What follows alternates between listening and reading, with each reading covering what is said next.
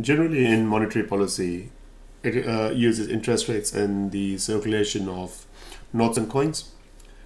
Now, in this uh, question, we're looking at A. Now, if the rate increases, then the borrowing falls, and investment consumption will fall, therefore, the AD will fall.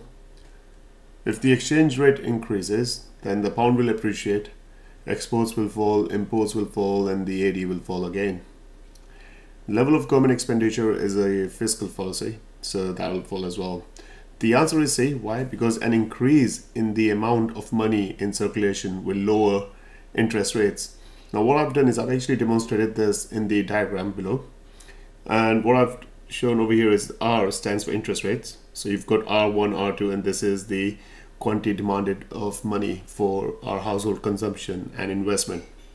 So if the bank increases the quantity from S to S2, so the number of coins and notes have been increased in the economy, what happens is we can see the interest rates will fall down. Now, when the interest rate falls down, the firms will get cheap loans for investment. The household consumption will go up, so you can buy a car or a TV on a cheaper finance. And that is why what we are saying is AD will increase, and hence C is the answer.